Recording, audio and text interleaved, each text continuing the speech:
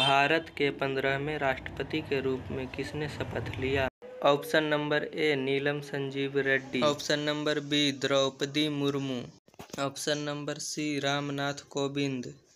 Option number D, doctor Rajendra Prasad.